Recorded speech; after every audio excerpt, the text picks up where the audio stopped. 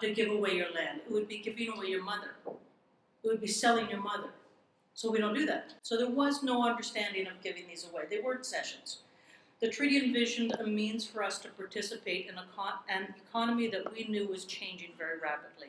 Fur trade was happening in the west, the buffalo were disappearing, fish stocks were being reduced, and we knew we needed a way to survive for seven generations. They also include non-molestation clauses, or in other words, we will live by our law, and the settlers will live by their law. That's what we understood. We were the owners of our land, extending rights to the settlers. Those are treaty rights. The Crown thinks they gave us rights to hunt and fish, but we were giving rights to the settler. You will live by your law, you will uh, have access to our land, you'll have access to our resources, and we are going to treat with you so we can live in peace. Uh, our, our treaties also included guarantees of things like education, which led to the horrific experience of Indian residential schools, not unlike your stolen generations. So how are those treaties working out for us? Well, just by quick uh, note, treaty number one in the Winnipeg area, uh, there's been a series of court cases in the last five years, seven court cases over one little piece of land in the city of Winnipeg because since 1871, when Treaty 1 was signed, the Crown has never actually fulfilled the first promises of that treaty. They were to get 160 acres, or I think they got more in that one, uh, but the Crown never actually set that aside for Treaty 1 nations. And they're still in court, and they still continue to win in court. And they've won in tribunals, and the government has said, yes, this is important to us, we want to settle. So if you want a little bit more information about what's happening specifically in Winnipeg about Treaty 1, look up what's happening with the Kapyong cases, Kapyong, so that's in the green there. Uh, concerns Peguis, concerns Sandy Bay, so the different nations have been going to court. Treaty number 11, which was the last of the numbered treaties, was actually considered to be fraudulent. Uh, they're not sure who signed it, they're not sure who negotiated it, so it was in essence set aside and entered into a comprehensive claim, which, which looks more like um, a modern treaty as we go on. Meanwhile, back on the farm, when our treaties were being signed, when we were negotiating in good faith, the Canadian government came up with a little piece of legislation called the Indian Act. So that's why I use that term Indian. We call ourselves Aboriginal or Indigenous, sometimes Native, but Indian is the correct legal term because of the Indian Act. The Indian Act uh, came into force in 1876. It actually brought together legislation that predated Confederation, things like the Gradual uh, Civilization Act, the Enfranchisement Act. So ways that we get that Indian out of you and assimilate. That's what that law was about. And the Indian Act continues to rule over every aspect of an Indian's life. I don't live on a reserve, so it has less impact on my life, but it still has legal force. So what did it do? It set up a foreign form of government. It said, that fellow is going to be the chief, and you fellows are going to be the council. Women will have no role here. In fact, women are easily removed from being Indian. All they had to do was marry a white fella and they were no longer Indian. And their children were no longer Indian, and that's still in force today. It brought, it brought to us, so that's the membership, it brought to us legal, cultural, and political control over our lives. It dispossessed us of our land. It introduced a pass and permit system, which was uh, removed in 1951, but that's pretty recent history. Essentially, we had to ask for permission to go off the reserve and hunt. So if we wanted our families to survive, we needed to be on pretty good terms with the Indian agent. The whole idea of the Indian Act, and it continues to be this way, it was about our protection, I think from ourselves is how they saw it. It was about our civilization, which introduced Indian residential schools, um, and assimilation, about that enfranchisement give you a quick example. A man who went off to fight in the war, in World War II. When he returned home to Canada, he was no longer an Indian. because he's civilized. If you got a university degree, you're no longer an Indian because you're educated. And Indians aren't those things. So that's the, that's the Indian Act. Uh, so meanwhile, we have these grand treaties, but what really rules our lives is this piece of legislation. All right, so on to the modern treaties very quickly. Uh, here's a few examples. The James Bay and Northern Quebec Agreement in 1975, in my opinion, has been a disaster. There was years and years and years of litigation, compensation for flooding, all having to do with hydro development. We have the Nisga'a Agreement, which is in BC, so that's far west in Canada uh, in 2000, and that brought a measure of self-determination, self-government for the Nisga'a people. I think many people would say it's working well so far. We also have Nunavut, which I would consider a modern land treaty, comes out of a land claims uh, agreement. The Inuit, remember, are not Indians, but they are indigenous or Aboriginal people. Nunavut set up uh, not a province and not a territory, but something in between. Uh, the idea was to allow them to make their own decisions and preserve culture, language, way of life, and, that, and so that's it's it's interesting. But you have to remember that these modern treaties, these modern agreements, are contracts that are as thick as a book.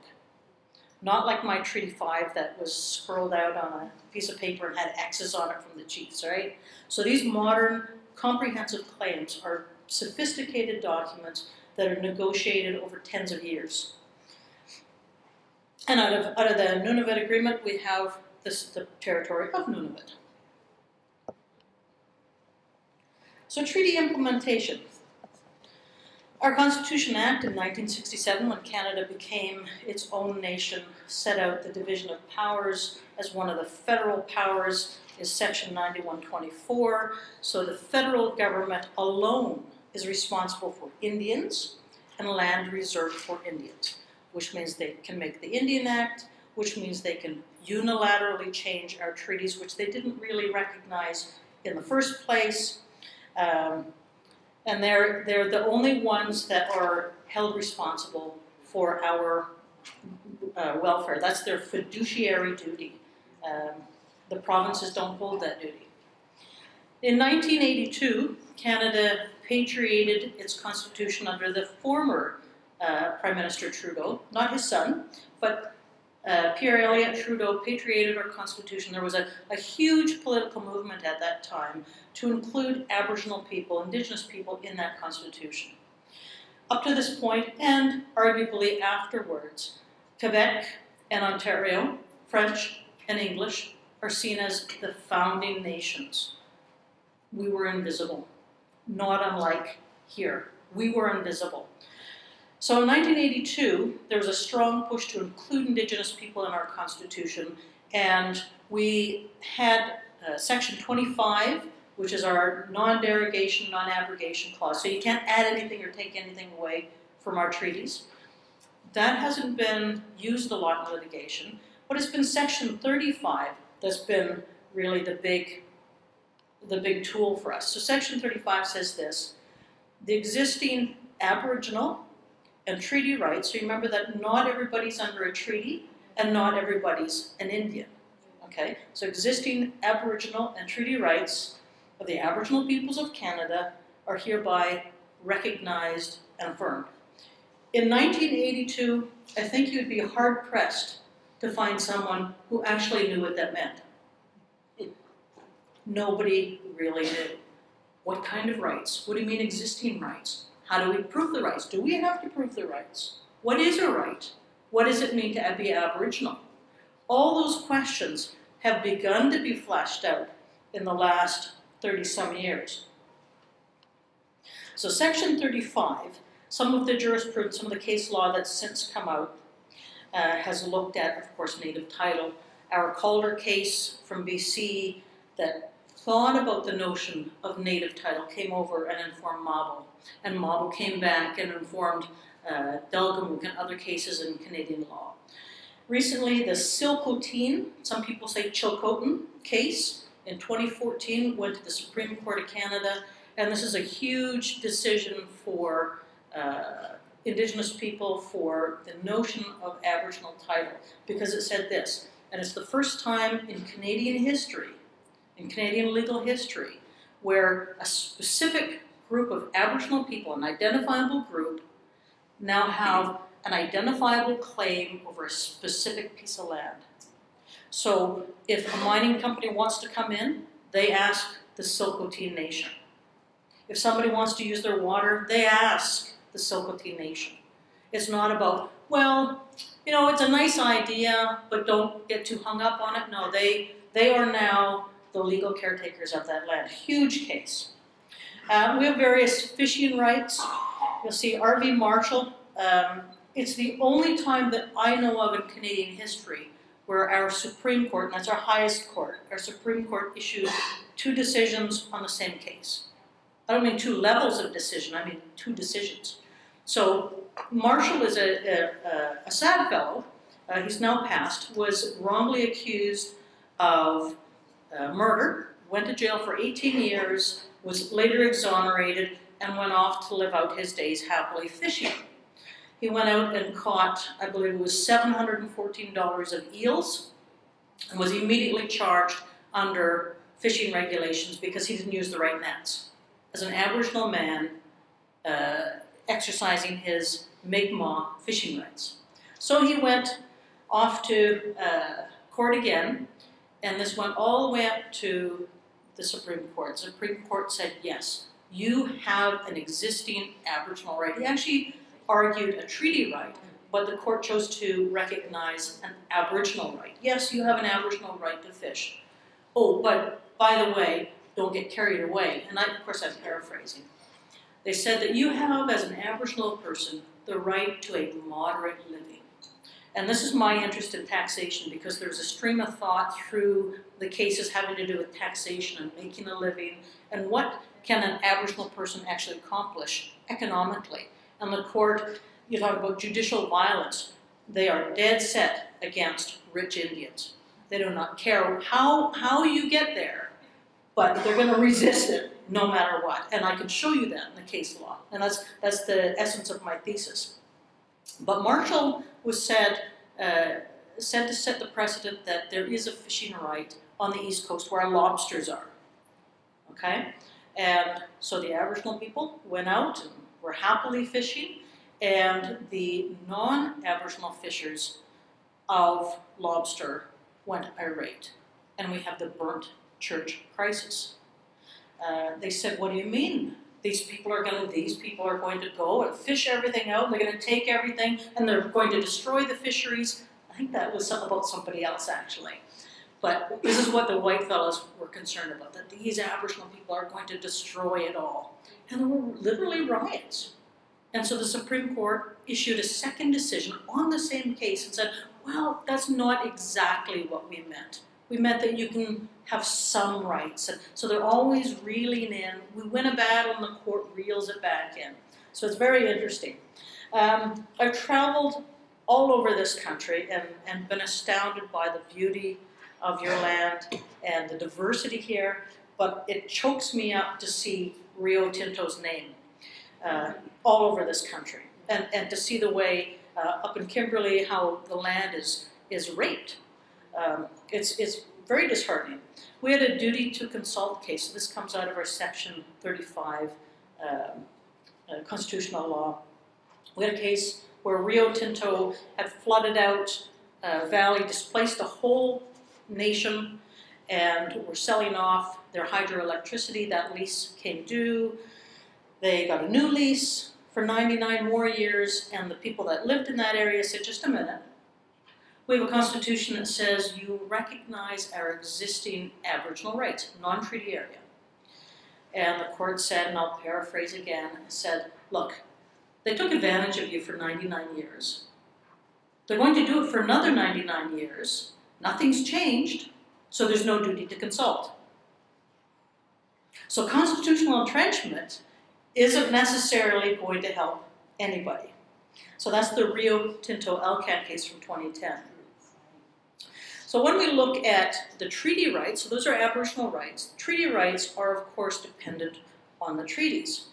But when we take these claims to court, remember that the court defines the terms of the treaties, right? They, our treaties include things like healthcare, education, hunting and fishing, and taxation exemptions. But the Crown always gets last word. They have the authority to define those rights. They have authority to define my status. They have the authority to say what was intended with those treaties, right? Like the Marshall case of, I think the treaty meant that you were going to have a moderate living at best. This is what the court comes up with. First Nations peoples say that the spirit and intent of our treaties has never been abided by, never acknowledged by the Crown. They understand these as cession treaties, that that land is meant to be exploited and our people are meant to be displaced or dispossessed. We disagree. Uh, there are books and books of specific claims reports where groups have come forward and said, that's not how we remember the negotiations. Our elders have passed down stories about this detail and that detail, and surprisingly, many of these claims have been successful, every single group has to, has to go to that negotiation, has to make that claim. It's not, oh, we made a mistake. Yes, you all should be enjoying your treaty rights. It's no, you will, we, we agree, you forced us to agree that this is your right in this group. And, and over here, you have that little right. That's, that's yours. That's the way the court will give up uh, the treaty rights.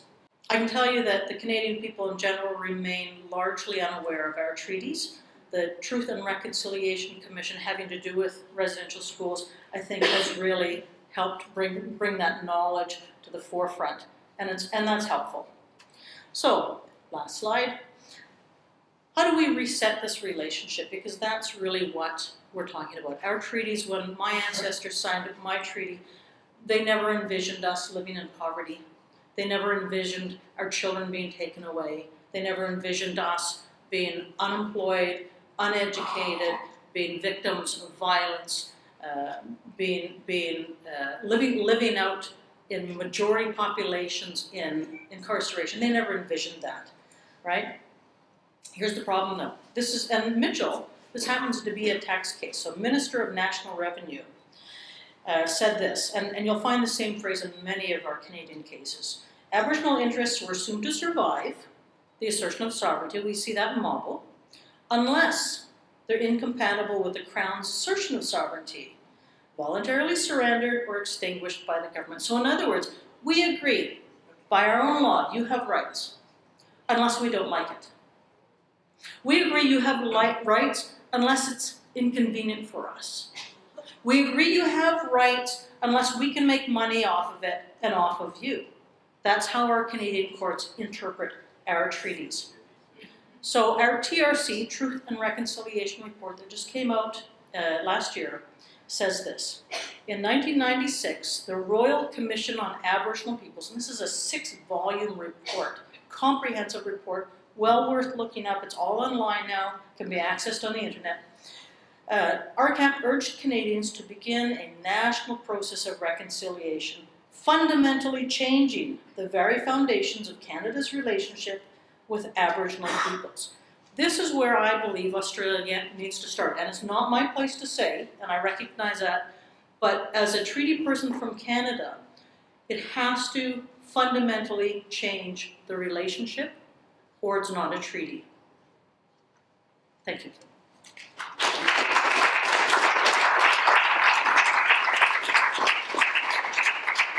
um, before on that one Mitchell's, um, if you look very closely at it, have a look very closely at it because that's native title, and that's the Inuits, okay? And this is how they're wiping our, all our rights away through those Inuits under those native title determinations, and that's why state governments now are pushing really fast to do and agree to uh, consent determinations to get everybody to sign everything away and that's what they, that's how they're doing it. So they're using the Canadian model and the Canadian experience. So we have to be very, very careful on where we go on native title. Just a question on, um, on the treaty as well. Um, you mentioned that. We just have one question and then we go on the next. Part of the treaty process, you said that um, um, inserted in the, in the treaty is the right for the uh, American government to extinguish sovereignty? That actually a, a, a component of the treaty? And, and if it is, does that mean then that the American government can seize your sovereign rights over your country? Okay, so Canadian government, Canadian Crown, yep, oh, we don't like being called Americans. Can they, can they extinguish? Yes and no. Legally, no, because they, we now have constitutionally protected treaty rights. Um, again, from the Crown's perspective, we have what are called take-up clauses. So specific to land, they say, yes, we're going to set aside this amount of land for you, if they gave it, ever gave it in the first place, gave it. mm. Um, but we reserve the right to take up land if we need it for a railroad, mining, forestry, uh, settlement, and you see the list goes on and on. So can they take away that land title? Yes, where there, where there's an existing treaty. A case to look at is called Grassy Narrows. The Grassy Narrows case from uh, 2014 or 2015. So in fact, it came three weeks after the Tsilhqot'in case. So in BC, where there was no treaty, huge win. In Ontario, where there is a treaty, huge loss because the treaty is actually used against us.